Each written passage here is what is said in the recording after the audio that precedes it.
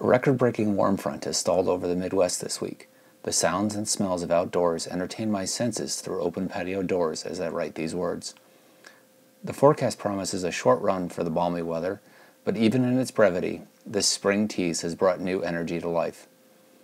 We haven't had an extremely cold winter, but a few stretches in the low teens laid all but the most persistent plants into slumber.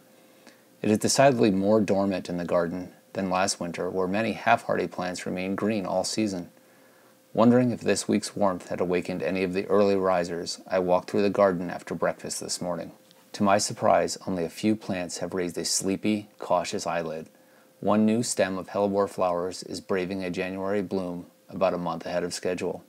The witch hazel that hovers above the hellebores still holds hundreds of buds closed tightly. Just a few rust colored tendrils have emerged. I found just a single clump of daffodils venturing through the mulch and leaves. There are hundreds of daffodils planted throughout our property, they're usually the first bulbs to break ground in spring, long before our last frost and snow. Today, they're having nothing to do with the recent warmth, preferring to stay hidden under the soil. Just beyond the north gate, I came upon Zephyr, my favorite piece of garden art. Zephyr, short for Zen Frog, has been my gentle reminder to stay centered amid the squalls of life. This is the second winter Zephyr has spent in our garden. This year, it's obvious that he wasn't made for freezing temperatures. Large chunks of his enameled finish have broken away. The stoic peace of his face is interrupted by a network of fissures. Seeing Zephyr in this state made me realize that we do the same things as our gardens, close inward when our environment is less than inviting. We circle the wagons during storms, encase ourselves in enamel, and present a stoicism to others. Unlike the garden, whose nature forces it to burst forth again in spring, a lot of us refuse to reemerge we stay encased in the safety of our protective facades. I recently read Brene Brown's Daring Greatly How the Courage to be Vulnerable Transforms the Way We Live, Love, Parent, and Lead.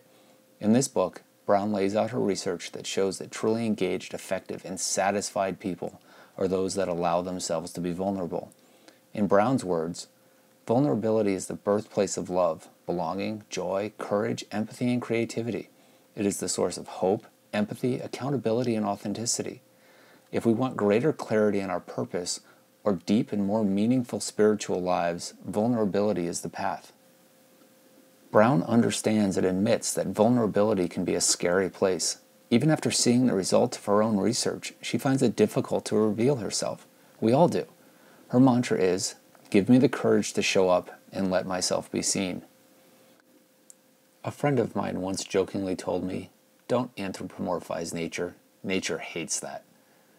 I know that it's neither easy nor difficult for our gardens to reemerge in spring. They just reemerge without choice in the matter. As humans, we have that choice. We can stay shrouded in enamel, or we can take a cue from nature, summon our courage, and show up. You can read this post and many others at FromTheSoil.com.